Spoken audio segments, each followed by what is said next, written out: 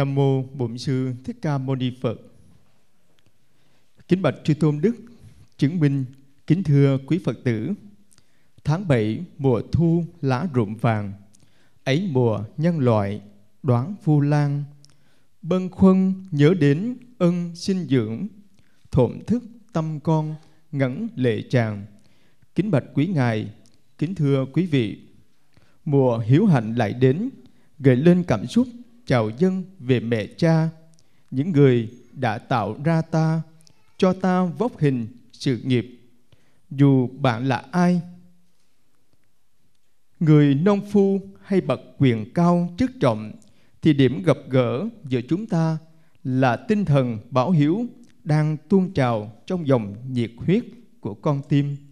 Đó là ngày lễ Vu Lan, ngày nhắc nhở các thế hệ con cháu chúng ta nhớ tới công ơn sinh thành của cha mẹ, ông bà, tổ tiên, cũng như những đóng góp to lớn của các anh hùng dân tộc, những người có công với đất nước, đồng thời giúp chúng ta tiếp cận được những ý nghĩa giáo dục đầy nhân bản của văn hóa Phật giáo, đó là từ bi, hỷ xã, vô ngã, vị tha, uống nước nhớ nguồn, ăn quả nhớ kẻ trồng cây, trong cung bậc tri ân và bảo ơn của dân tộc, Phật giáo đã từ lâu luôn trân trọng và lấy hạnh hiếu làm đầu.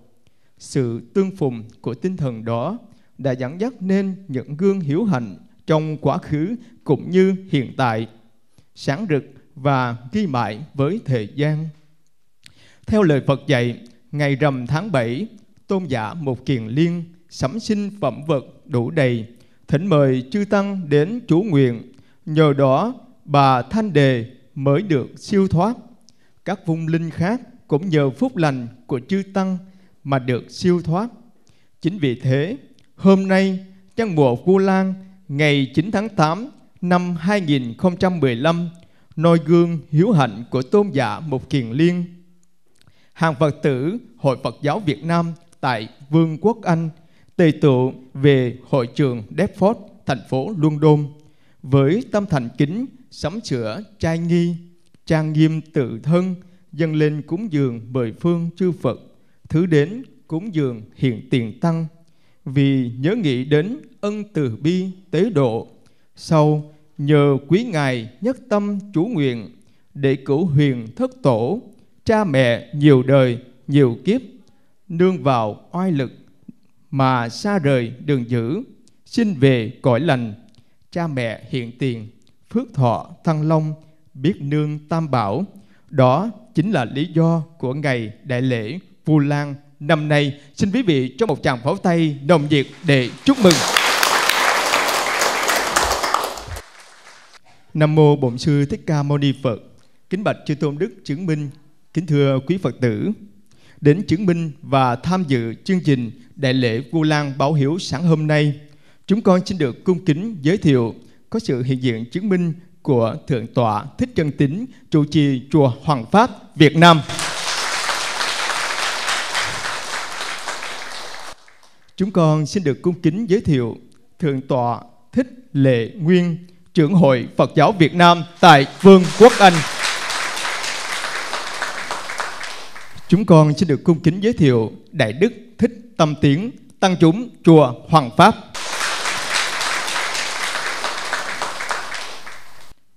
Chúng con xin được cung kính giới thiệu Sư cô Thích Nữ Thanh Lương, Chủ sứ Chùa Liên Hoa, tịnh độ Paris, Pháp. Chúng con xin được cung kính giới thiệu Sư cô Thích Nữ Như Tâm, chủ sứ tại tỉnh thất Phổ Hiền, London. Và chúng tôi cũng không quên giới thiệu có sự hiện diện rất mực thành chính của quý Phật tử hiện diện tại hội trường hôm nay. Kính chúc quý vị vô lượng an lạc, vô lượng kiết tường.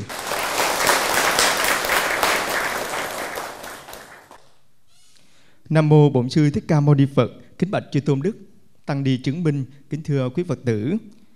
Vu Lan đến bao trái tim thổn thức. Vu Lan về hoa đạo nở thơm hương Cô Lan ơi, nét đẹp thật trơn thường, cho nhân loại tìm về trong ánh đạo. Giờ phút này, trong niềm hân hoan của mọi người con Phật trong ngày vui hiếu hạnh, dưới sự chứng minh của chư tôn đức và sự tham dự đông đảo của quý thiện nam tín nữ Phật tử gần xa, chúng con thành tâm cung thỉnh Thượng tọa Thích Lệ Nguyên, Hội trưởng Hội Phật giáo Việt Nam tại Vương quốc Anh, lên tuyên đọc diễn văn khai mạc Đại lễ Vu Lan 2015. Chúng con thành kính cung thỉnh. Nam mô Bổn sư Thích Ca Mâu Ni Phật. Kính bạch chư tôn đức, kính thưa quý vị bạn khách, kính thưa quý đồng hương Phật tử. Với người con Phật, mùa thu còn là mùa lễ hội Vu Lan rằm tháng 7 Ngài chư Phật quan hỷ, Ngài xá tội vong nhân, Ngài cho những ai muốn báo đền ơn sinh dưỡng. Ân cha nghĩa mẹ thật bao la, vô bờ bến. Chính vì thế mà trong kinh Vu Lan, Đức Phật đã dạy các hàng đệ tử, Dù vai trái cổng cha, Vai phải cổng mẹ, Trải qua đến trăm nghìn kiếp Cũng không sao đắp đền được công ơn sinh dưỡng của hai đấng sinh thành. Tôn giả một kiền liên. Khi biết mẹ bị đỏ đài Tự tay Ngài đã bưng bát cơm dâng lên cho mẹ Và tìm phương pháp cứu mẫu thân. Gương hiếu hạnh của người xưa vẫn còn đó Là bài học vô giá cho những ai muốn báo đền ơn sinh dưỡng. Tình cha, nghĩa mẹ Dành cho con cái không giới hạn Không gian và thời gian Cha mẹ luôn là điểm tựa vững chắc cho con bước vào đời có những lúc trong cuộc sống. Vì chạy theo danh lợi vật chất mà chúng ta đã không có nhiều cơ hội để chăm sóc mẹ cha. Nhưng khi gặp khó khăn hay thất bại trên đường đời, thì nơi phương trời xa yêu dấu, hình bóng mẹ cha luôn an ủi, vỗ về vỗ về. Giờ đây, ngoài kia những chiếc lá vàng của mùa thu đã rơi rụng chuông chùa vang vọng ngân nga trong một chiều thu viện xứ, nhắc nhở cho chúng ta mùa vu lan báo hiếu lại về. Trong giờ phút thiêng liêng này, chúng con xin nguyện cầu mười phương chư phật thì từ gia hộ cho chư tôn đức tăng ni được pháp thể kinh an chúng sinh dị độ. Chúng tôi xin thân chúc toàn thể quý đạo hữu phật tử một mùa vu lan báo hiếu được trọn vẹn trong niềm ước mơ của mình và chúng tôi cũng xin hướng vọng về quê hương, nguyện cầu cho hồn thiên đất nước, chư vị quốc công thần hộ trì cho dân tộc và đất nước Việt Nam luôn phú cường, vững mạnh. Mỗi người con là những bông hoa hiếu hạnh để dân tặng lên ông bà, cha mẹ, nhân mỗi độ xuân về. Nam mô đại hiếu mục kiền liên bồ tát ma ha tát.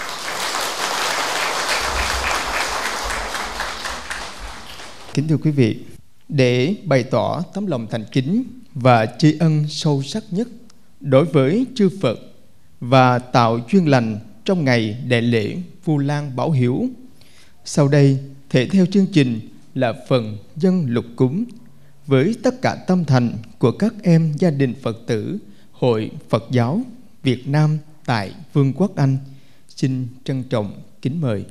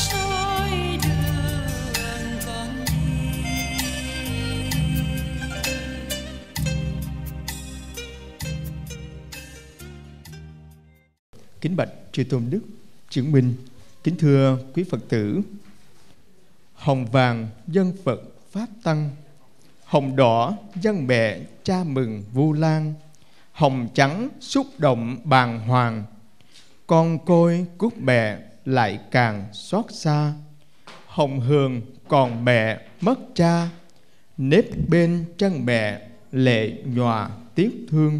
Kính thưa quý vị, hoa hồng với vẻ đẹp, hình dáng và hương thơm nổi bật, nó không chỉ là biểu tượng kết tinh cho tình yêu đôi lứa, mà nó còn là biểu tượng cho tình yêu cao quý của những người con đối với cha mẹ. Vì vậy, để bày tỏ tấm lòng tri ân của những người con hiếu thảo, tiếp theo chương trình là phần cài hoa hồng. Xin mời Phật tử Diệu Hiền lên đọc về ý nghĩa cài hoa hồng. Xin trân trọng kính mời.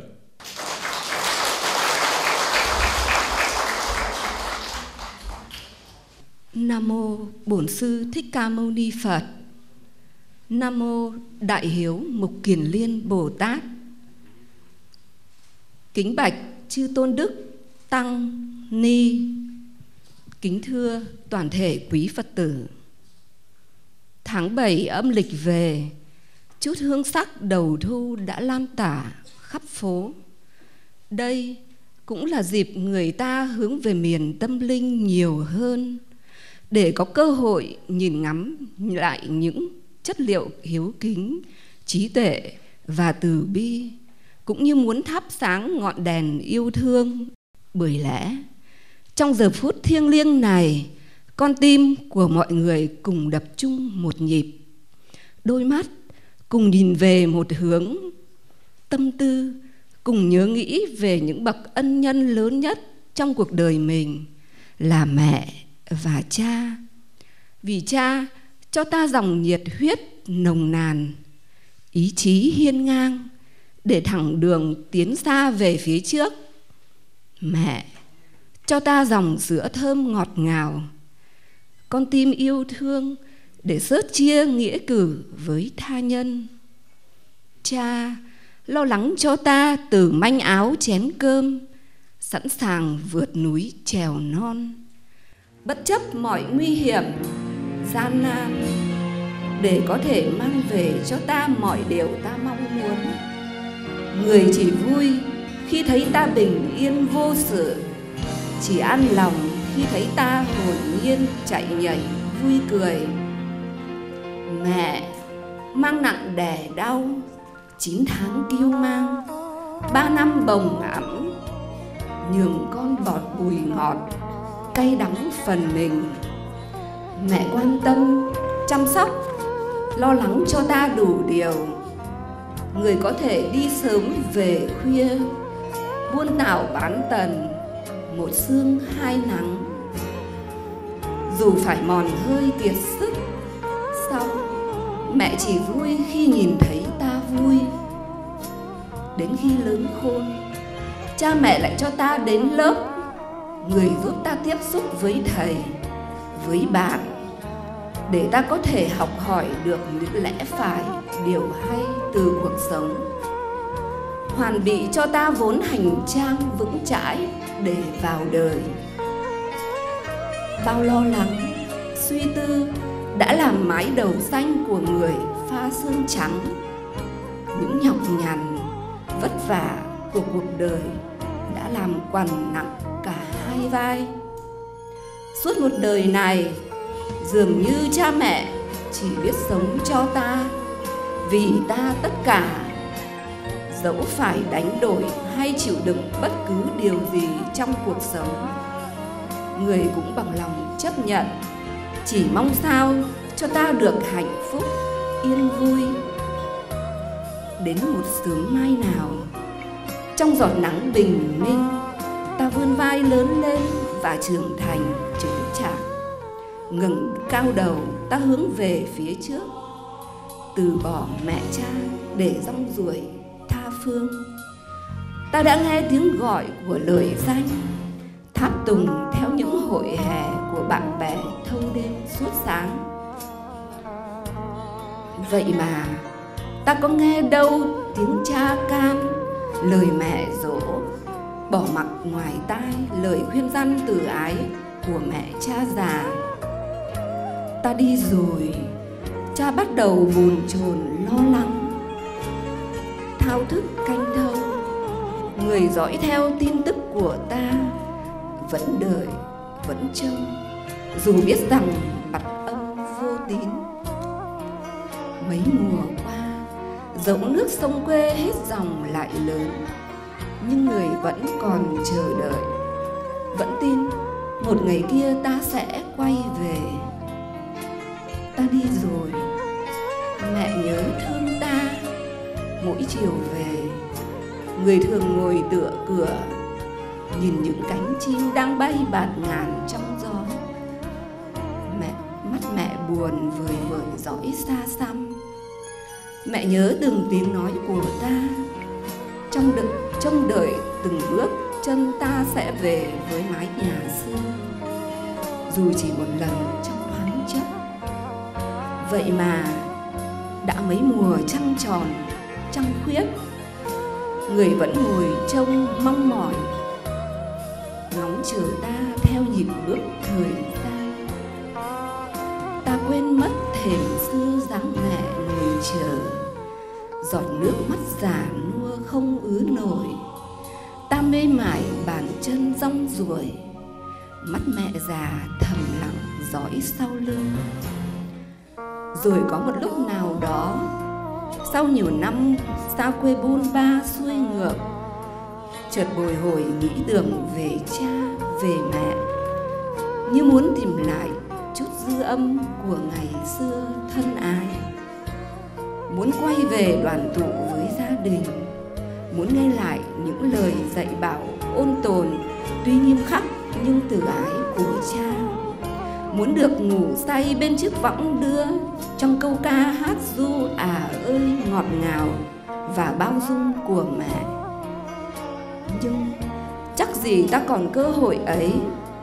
Vì tuổi xế chiều của mẹ cha, ngày càng chồng chất, bóng thời gian vùn vụt thổi qua đời. Mỗi ngày qua, con lại thấy ngần ngơ. Ai níu nổi thời gian, ai níu nổi. Con mỗi ngày một lớn thêm, mẹ mỗi ngày thêm già cỗi. Cuộc hành trình thầm lặng phía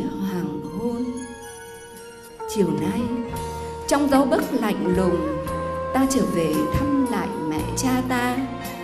Mái hiên xưa vẫn hiu quạnh, cô liêu vỏ võ một góc vườn như nhớ nhung, buồn tủi. Nơi có hai đấng sinh thành, đã vì ta nhiều năm trông đợi. Nơi mà một thời mẹ cha đã nuôi ta khôn lớn chắc chiêu, gói ghém bao tình nghĩa cho ta nhưng lối nhỏ ngày xưa rêu xanh mờ xóa dấu, mảnh sân trước giờ cỏ dại đã mọc đầy. Cánh cổng vẫn khép hờ, nhưng ngôi nhà sao hoang vắng quá. Mẹ ta đâu? Cha ta đâu? Tất cả bỗng rơi vào khoảng không im lặng. Nhìn ra ngõ trước đã vắng bóng cha tìm lối vườn sau, cũng không gặp mẹ. Đây là chiếc áo của cha, kia là chiếc khăn len của mẹ. Kỷ vật ngày nào vẫn còn nguyên vẹn đó, mà bóng người xưa giờ khuất dạng nơi đâu. Ta mất mẹ rồi, ngày tháng rất lê thê. Trong ảo giác tìm đâu ra thực nữa quê xưa buồn quạnh quẻ. Vắng bóng mẹ hiền ơi, chuỗi ngày thơ ta đong đầy kỷ niệm khôn nguôi. Đã sớm vụt khỏi tầm tay trong khoảnh khắc. Ta ngước nhìn khoảng không gian đêm giường phảng phất, như có hình ảnh mẹ hiền đang chậm chờn phía trước đợi chờ ta. Kính lạy mẹ kính lạy cha. Có phải con quá hờ hững, vô tâm lắm phải không? Con đã bỏ mặc mẹ cha đêm ngày sống trong cô đơn, hiu quạnh con đã vô tình quên lãng để dòng chảy thời gian cuốn mẹ cha về tận phương trời nào. Hôm nay, về đây, xin cho con được quỳ trước mẹ, trước cha để nói lên lời tri ân và tạ tội. Có thể mẹ cha đã không còn nữa. Nhưng một đời, người đã vất vả vì con. Vậy mà nghĩa ân kia, con chưa lần nào nghĩ tưởng để đáp đền. Dẫu phải bắt đầu mọi thứ từ hôm nay, nhưng dù con có thờ phụng, kính vâng cha mẹ đến suốt một đời này, nghĩa ân kia làm sao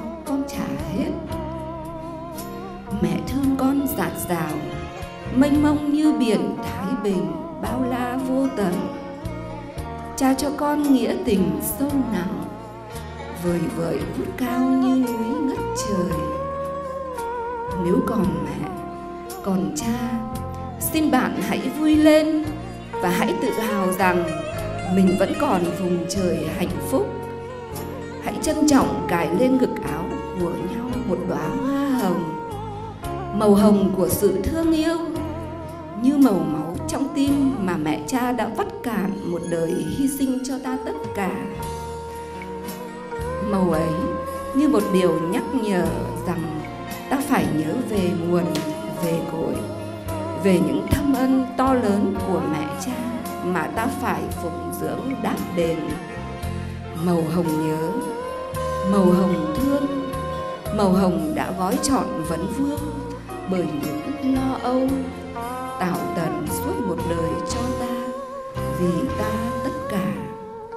Xin bạn hãy giữ gìn đừng bao giờ làm phai nhạt như ấp ủ nâng niu tình thương yêu của hai đấng sinh thành. Còn nếu bạn bất hạnh vì đã mất mẹ mất cha Sậy, xin hãy lặng lẽ cài lên ngực áo của mình đóa hoa buồn trinh trắng. Bạn hãy cài hoa và hãy hướng nguyện về mẹ cha mình những gì thiêng liêng, cao cả nhất. Nam mô đại hiếu mục kiền liên bồ tát ma ha tát.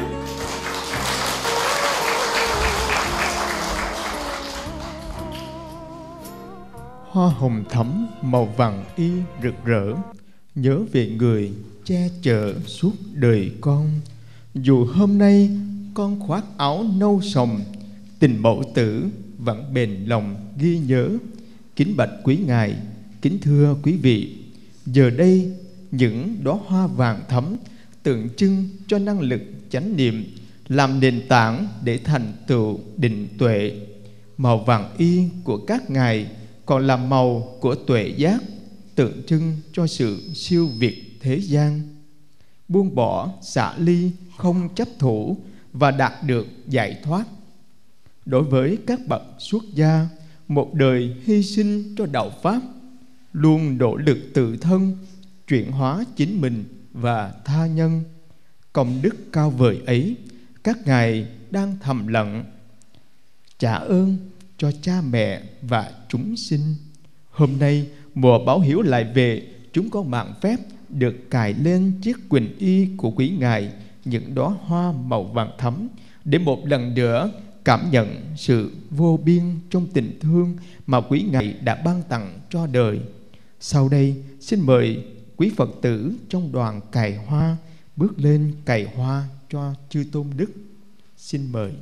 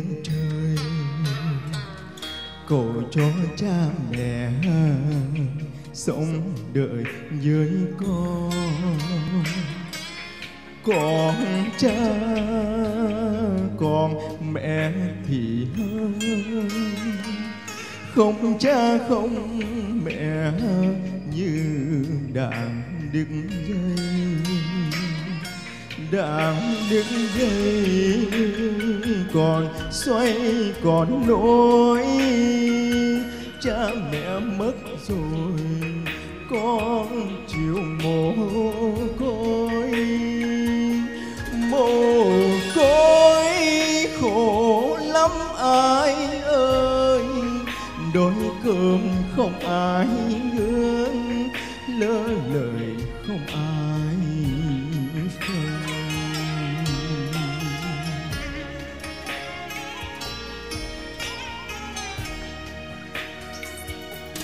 chiều chiều nhớ mẹ tha phương. Biển nhanh cơm buông lưỡi đường cá xương. Mẹ già như chuối ba hương, như soi nếp mồ như đường mía lao. Như soi nếp mồ như đường mía lao.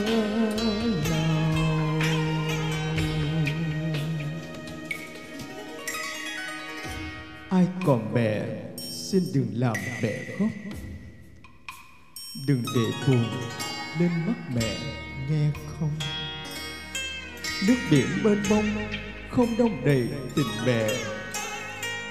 Mây trời lồng lộng không phủ kín công cha. Tần tạo sớm hơn mẹ nuôi ta khôn lớn, mang tấm thân gầy, tất cả cũng vì con.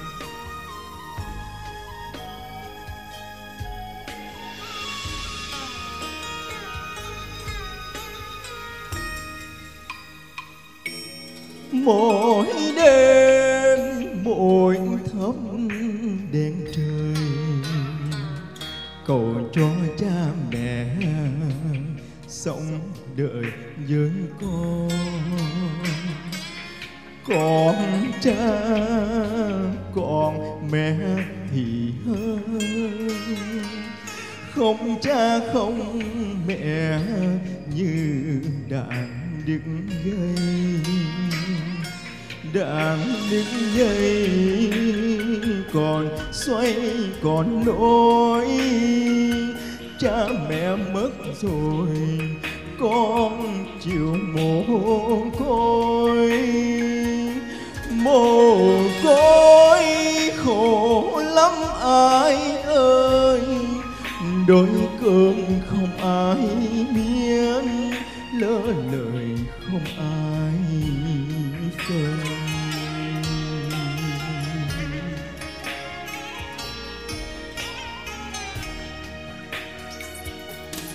chiều chiều, nhớ mẹ tha phương. Miệng nhai cơm bún lưỡi lửa cá xương. Mẹ già, như chuối ba hương, như soi nếp mồ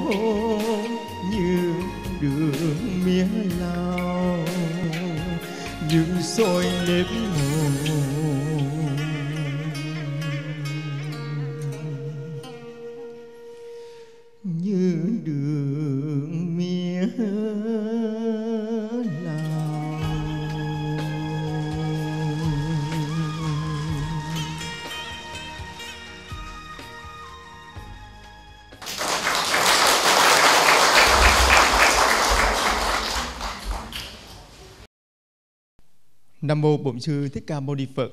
Kính bạch chư tôn đức, kính thưa quý Phật tử. Hôm nay lễ Vu Lan Thắng hội, mùa báo hiếu của các hạng con Phật, ngày thọ tuổi của chư tăng ni, Mùa của chư Phật hoan hỷ, dẫu biết rằng công lao của cha mẹ là to lớn, nhưng ân đức sâu dày của chư tôn đức lại càng cao quý hơn vì các ngài là hạng sứ giả như lai kế thừa và truyền bá ánh sáng của trí tuệ, của sự giác ngộ giải thoát đến với chúng sinh. Hàng phật tử chúng con vô cùng cảm kích trước những việc làm mà quý ngài để lại cho hàng hậu thế. Vì vậy, nhân một cô lan bảo hiếu, bằng tất cả tấm lòng thành, chúng con noi gương tôn giả một kiền liên, sắm sanh pháp y, cúi đầu dân cúng. Sau đây, xin mời quý phật tử, hội phật giáo vương quốc anh, một lòng thành kính tác bạch dân phẩm vật lên cúng dường, chư tôn đức, xin trân trọng kính mời.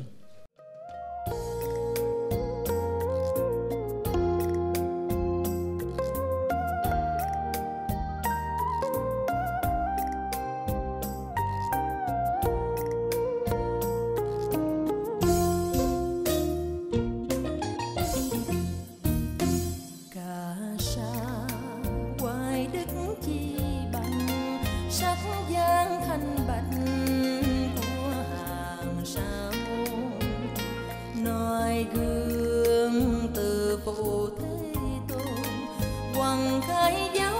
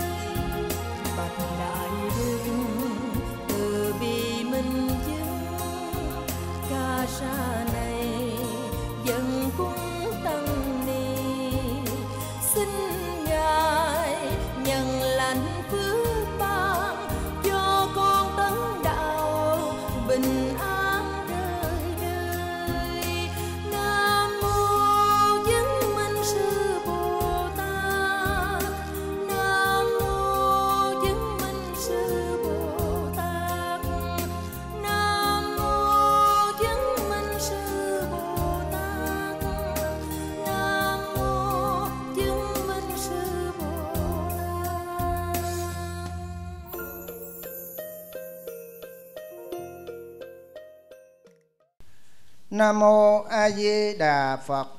Kính bạch chư tôn đức, chúng con hiểu rằng ơn giáo dưỡng một đời nên hệ mạng. Nghĩa ơn sư muôn kiếp khó đáp đền. Chúng con có được thân này là nhờ ơn sanh thành dưỡng nuôi của cha mẹ. Cha mẹ đã cho chúng con nghị lực, niềm tin và sức mạnh để đi vào cuộc sống. Mẹ sinh chúng con trong khổ cực ba năm cho bú mớm mười tháng cưu mang đắng cây luôn chịu bùi ngọt nhường phần con có mẹ có cha chúng con cảm thấy mình như có cả bầu trời hạnh phúc. Nhưng hơn thế nữa, nay chúng con có đủ duyên lành, được về đây nương tựa tam bảo. Quý thầy đã cần chỉ dạy cho chúng con hiểu được phật pháp, tránh xa điều dữ, chuyên làm việc lành giúp cho chúng con có phương pháp tu tập chuyển hóa những nỗi khổ, niềm đau trong cuộc sống hiện tại. Công đức ấy thật cao, lớn biết bao. Không biết lấy chi đền đáp cho vừa. Hôm nay mùa vu lan báo hiếu lại về. Vâng lời phật dạy, chúng con sắm sẵn phật phẩm một lòng thành kính dâng lên cúng dường. Tam bảo, cuối mong quý ngài, ai lân nạp thọ? Tùy duyên làm hành trang trên bước được hoàn pháp lợi sinh. Xuyển dương chánh pháp giúp cho chúng con thoát khổ. Đường mê, quay về nẻo chánh nam mô đại hiếu mục kiền liên bồ tát ma ha tát. Nam mô bổn sư thích ca mâu ni phật. Kính bạch thượng tọa thích lệ nguyên, hội trưởng hội phật giáo việt nam tại vương quốc anh. Kính bạch chư tôn đức tăng ni chứng minh. Kính thưa toàn thể quý thiện nam tín nữ phật tử hiện diện. Hôm nay, ngày mùng 9 tháng 8 2015 Hội Phật giáo Việt Nam tại Anh Quốc tổ chức lễ Vu Lan báo hiếu. Quý Phật tử về tham dự lễ, noi theo gương hiếu của một kiền liên, sắm xanh phẩm vật, y phục, dâng lên cúng dường chư tôn đức tăng ni hiện tiền. Nguyện đem công đức này hồi hướng cha mẹ hiện tiền được tăng phúc, tăng thọ. Ông bà cha mẹ quá vãng được siêu sinh lạc quốc. Thay mặt chư tôn đức tăng ni hiện diện tán thán tinh thần hiếu tâm, hiếu hạnh của toàn thể quý phật tử. Kính thưa quý vị thời đức phật thích ca mâu ni còn tại thế. Ngài có một vị đệ tử lớn, tên là Mục kiền liên. Mục kiền liên sau khi tu hành, chứng được lục thông, nghĩ đến công đức sinh thành dưỡng dục của người mẹ là bà thanh đề. Mục kiền liên dùng đạo nhãn của mình tìm xem mẹ sau khi từ giả cõi đời này sinh về cảnh giới nào. Và ngài đã thấy được mẹ đọa làm ngạ quỷ, đói khát, thân hình gầy ốm, đau khổ, thương mẹ một kiền liên đã đem bát cơm đến dâng lên cho mẹ. Thế nhưng bà thanh đề vừa đưa tay bóc cơm ăn, cơm hóa lửa. Một kiền liên đau xót trở về bạch với đức phật thích ca mâu ni, xin ngài chỉ dẫn cho phương pháp cứu mẹ thoát khỏi ngạ quỷ. Đức Phật dạy rằng vào ngày rằm tháng 7 là ngày chư Tăng tự tứ. Thầy nên sắm sanh phẩm vật, Y phục, dâng lên cúng dường, Chư Hiền Thánh Tăng. Nhờ sức chú nguyện của chư Hiền Thánh Tăng, Mẹ Thầy có thể thoát khỏi khổ cảnh, Sinh về lạc cảnh. Một kiền liên vâng lời Phật dạy, vào ngày rằm tháng 7 Ngày tự tứ của chư Tăng, Sắm sanh phẩm vật y phục dâng lên cúng dường. Nhờ chư hiền thánh tăng, Thanh tịnh, Giới đức trang nghiêm, chú nguyện, mẹ của thầy một Kiền Liên thoát khỏi ngạ quỷ sinh về thiên giới và từ đó, Phật giáo chúng ta có ngày lễ Vu Lan tràn đầy tình người.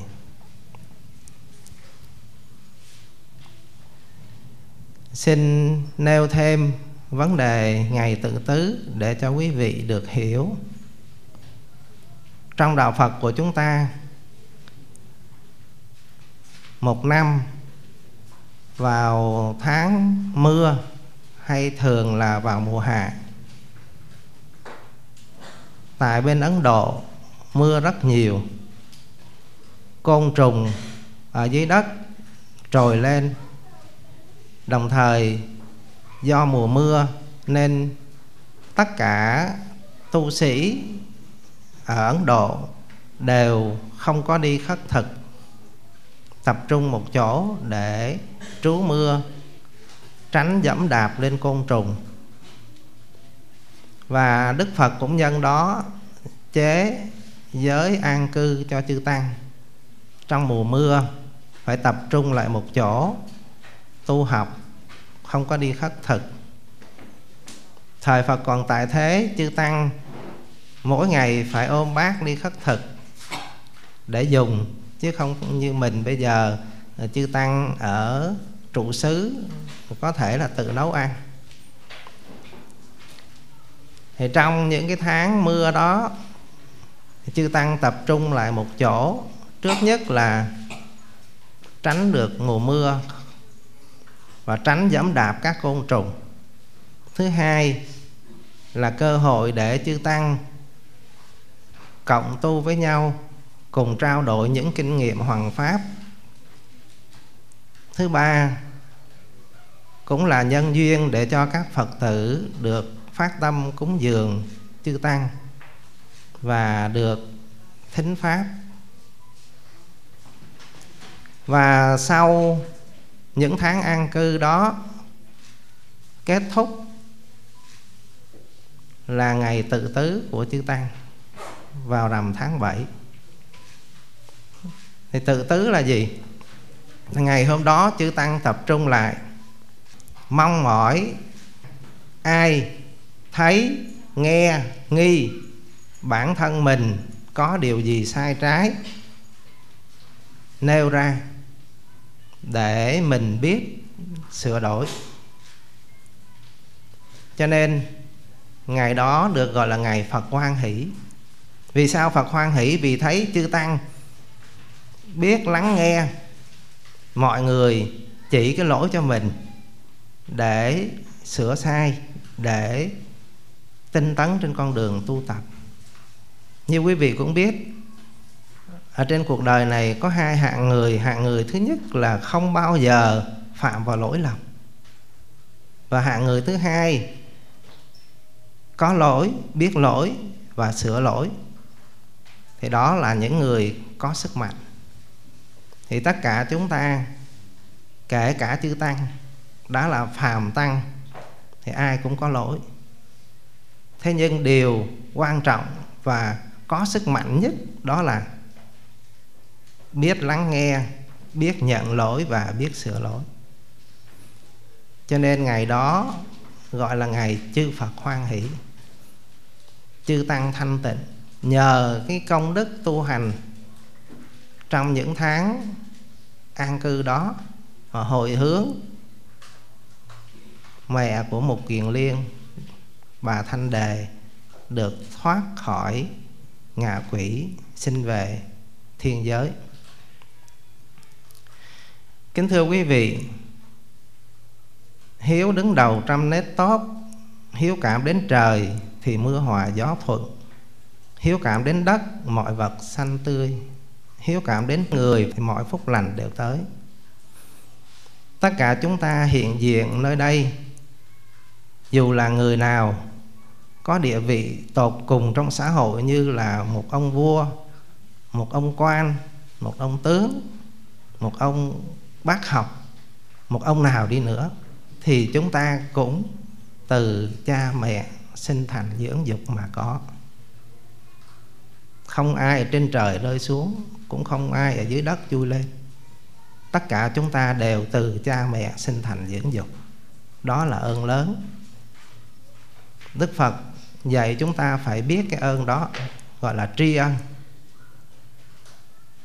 Và người phật tử ngoài việc tri ân đó còn phải báo ân là báo đáp công ơn sinh thành dưỡng dục của cha, của mẹ.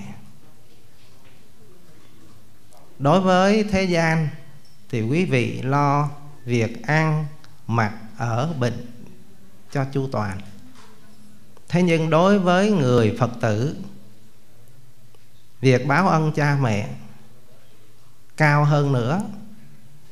Ở chỗ trước hết là một người phật tử phải giữ được năm giới, không sát sinh, không trộm cắp, không tà dâm, không nói dối và không uống rượu.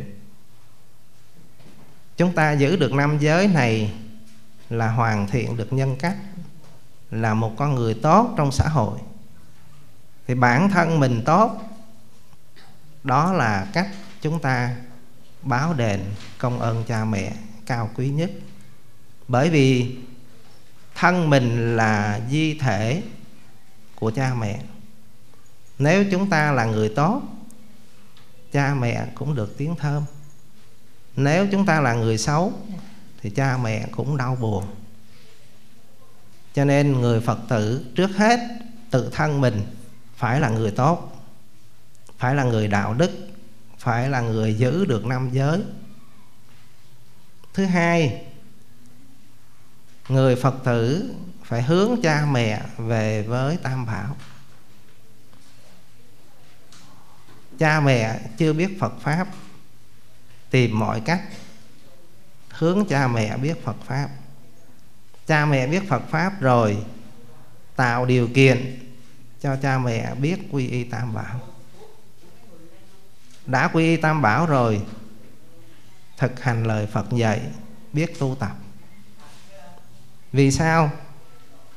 Vì nếu chúng ta hiếu với cha mẹ về vật chất đầy đủ ở trong cuộc sống thế gian này nhưng cha mẹ sau khi qua đời đọa địa ngục, làm ngạ quỷ xuất sinh,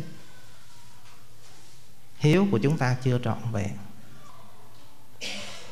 Cho nên cái hiếu cao thượng nhất của người con phật là làm thế nào lúc cha mẹ còn sống, hướng cha mẹ biết tam bảo, biết quy y, biết phật pháp, biết tu hành. Để cha mẹ sau khi qua đời được sinh về những cảnh giới tốt đẹp. Và hôm nay, thượng tọa thích lệ nguyên cũng vì thương tưởng đến phật tử người việt nam sinh sống tại anh quốc đã không quản ngại rất nhiều khó khăn để tổ chức cái buổi lễ vu lan. Trước hết là để chúng ta có cơ hội được ôn lại những lời đức phật dạy trong kinh vu lan. Thứ hai là giáo dục cái tinh thần hiếu đạo cho tất cả mọi người, không chỉ người lớn mà cho cả những thế hệ trẻ. Và theo chúng tôi nghĩ, những buổi lễ như thế này hết sức là cần thiết sẽ tạo được những ấn tượng rất tốt đẹp cho con cháu của chúng ta. Vì, như quý vị biết, hiếu là cái gốc của con người. Con người mà mất đi chữ hiếu rồi thì con người đó không thể là hoàn thành được cái nhân cách. Cho nên, buổi lễ hôm nay, theo chúng tôi nghĩ, có rất nhiều ý nghĩa và mong rằng những năm sau, thượng tọa lệ nguyên sẽ tiếp tục tổ chức những buổi lễ vu lan như thế này và tạo được những cái ấn tượng sâu sắc trong lòng của tất cả phật tử. Đồng thời, cũng nhân dịp này để giáo dục cái đạo hiếu cho tất cả mọi người. Trong đó, đặc biệt là con cháu chúng ta chúng tôi rất tiếc là chưa nắm được cái tình hình công việc làm ăn của quý vị như thế nào và học hành của các cháu như thế nào. Thì chúng tôi nghĩ rằng những buổi lễ này, các vị cần phải cho con cháu mình đi. Đây là một cái buổi lễ nhằm giáo dục, đạo hiếu. Nếu con cháu của chúng ta nó dự được buổi lễ này, nó nghe được những lời kinh đức phật dạy thì có thể nó sẽ thay đổi những cái suy nghĩ mà trước đây. Có thể nó chưa có suy nghĩ đúng về cha về mẹ. À, rất mong rằng cái buổi lễ như thế này sẽ được uh, tổ chức những năm tới. Thì trong năm nay thì là đầu tiên uh, thượng tọa lệ nguyên mời chúng tôi qua đây để tổ chức. Thì lúc đầu chúng tôi cũng nghĩ rằng là có thể khi qua đây sẽ có những thời gian để tập dệt cho các em, cũng như là làm thế nào đó để buổi lễ của chúng ta nó sẽ thành tựu tốt đẹp. Thế nhưng rất tiếc là đi qua thì mọi việc nó không như ý. Là mình phải mướn cái hôn này á, thì mình không có được tự chủ. Mình bị lệ thuộc. Thì chúng tôi phải cử quý thầy đi qua từ thứ năm để chuẩn bị, có thể tập dợt cho các em. Cho đến hôm nay thì chúng ta khi tổ chức buổi lễ nó sẽ sẽ tốt đẹp và tạo cái ấn tượng sâu sắc cho quý vị, nhưng mà không thể làm được. Tới sáng hôm nay mới đến đây, mới làm, mới tập cho nên mọi cái nó không được như ý. Thì điều này cũng à, gợi lên cho quý vị là làm thế nào trong tương lai chúng ta phải có được một cơ sở. Vì cái cơ sở đó thì mình mới làm chủ được. Và mình mới chủ động được trong tất cả các cái công việc. Quý vị biết chùa Hồng Pháp như thế tổ chức một cái buổi lễ Vu Lan là phải tập giờ cả tuần lễ nếu mà ai mà xem cái đĩa lễ Vu Lan của chùa hoàng Pháp thì mới sẽ thấy được. Ờ, rất là trang nghiêm, rất là ấn tượng. Thì chúng tôi cũng muốn đem những cái điều tốt đẹp đó để tổ chức tại đây nhưng mà không thể được. Không thể được. Do vậy mà rất mong quý vị, nếu suy nghĩ đến tương lai của Phật pháp ở tại Vương quốc Anh nhất là đối với người Việt Nam của chúng ta. Và thế hệ con cháu của chúng ta thì chúng ta nên cố gắng đoàn kết làm thế nào đó để có được một cơ sở. Thì như vậy, sau này những cái buổi lễ của chúng ta à, sẽ tốt đẹp hơn. Thì hôm nay à, cũng xin thay mặt chư tôn đức tăng ni hiện diện à, tán thán tinh thần hiếu tâm hiếu hạnh của toàn thể quý phật tử và nguyện cầu tam bảo gia hộ cho quý vị và cha mẹ hiện tiền được tăng phúc tăng thọ. Ông bà, cha mẹ quá vãng nhờ công đức này mà được siêu sinh tịnh độ. Nam mô a di đà phật.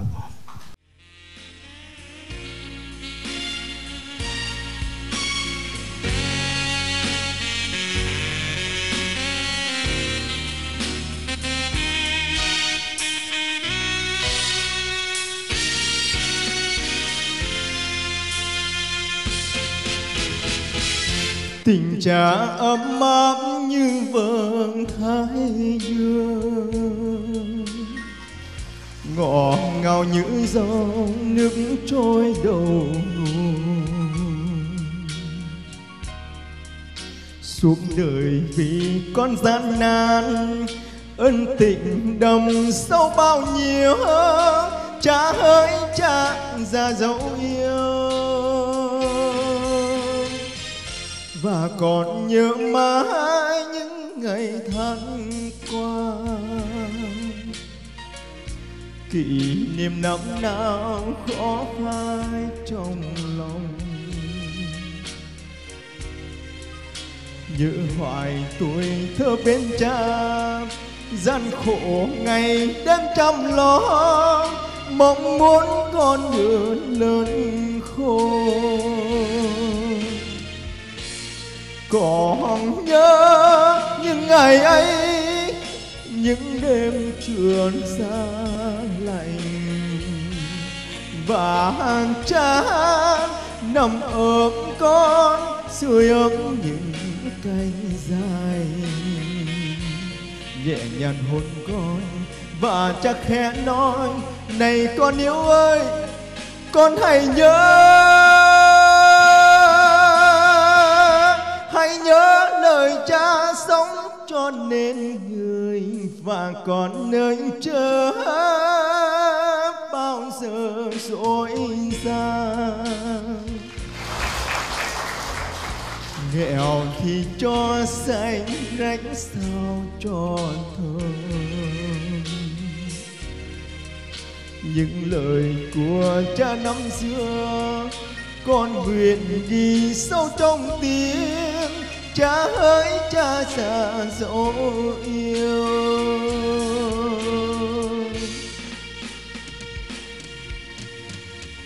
Cha dấu yêu, công cha như núi thái sơn, nghĩa mẹ như nước trong ruộng chảy ra.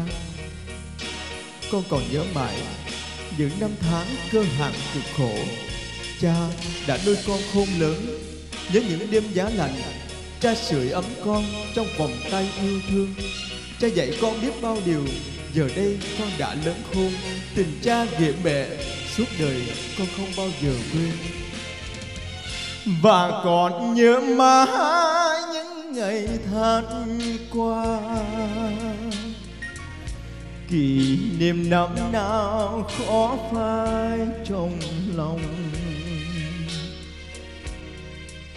Nhớ hoài tuổi thơ bên cha gian khổ ngày đêm chăm lo, mong muốn con đường lớn khôn.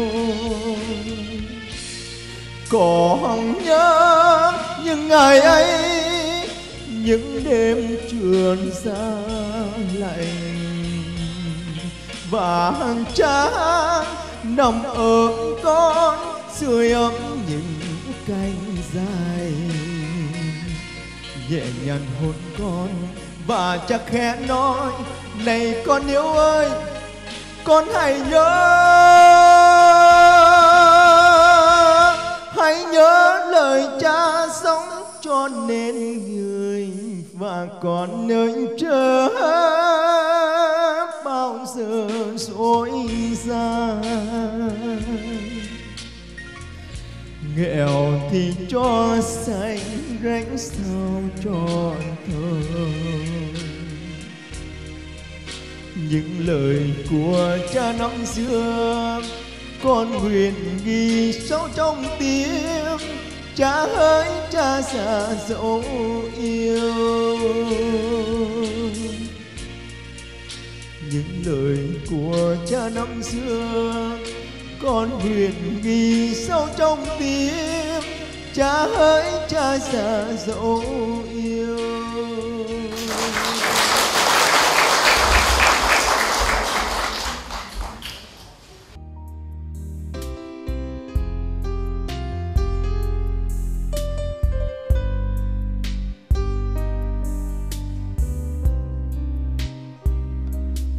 Khẽ ngắt nụ cài lên mái tóc xanh mẹ yêu.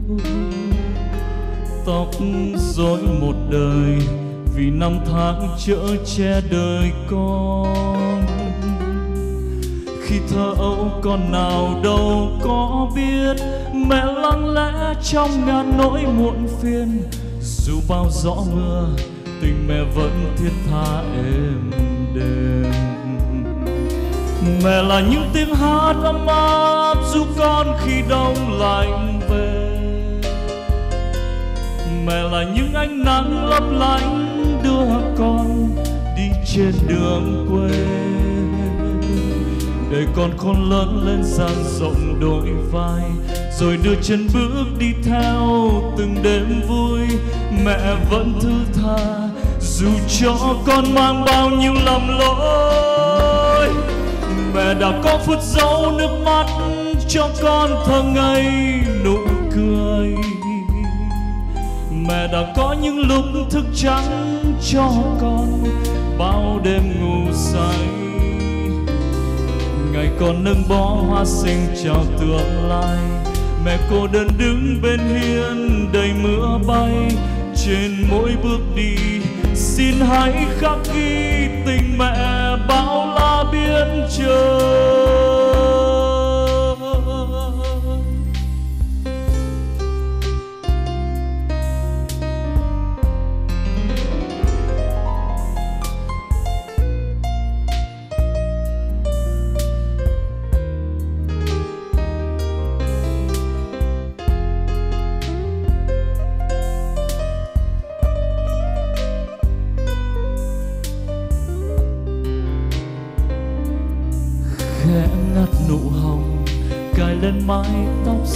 Mẹ yêu.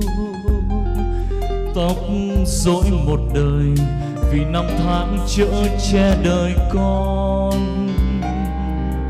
Khi thơ ấu con nào đâu có biết, mẹ lặng lẽ trong ngàn nỗi muộn phiền. Dù bao gió mưa, tình mẹ vẫn thiết tha êm đềm. Mẹ là những tiếng hát ấm áp dù con khi đông lạnh về. Mẹ là những ánh nắng lấp lánh đưa con đi trên đường quê. Để con khôn lớn lên dang rộng đôi vai, rồi đưa chân bước đi theo từng đêm vui.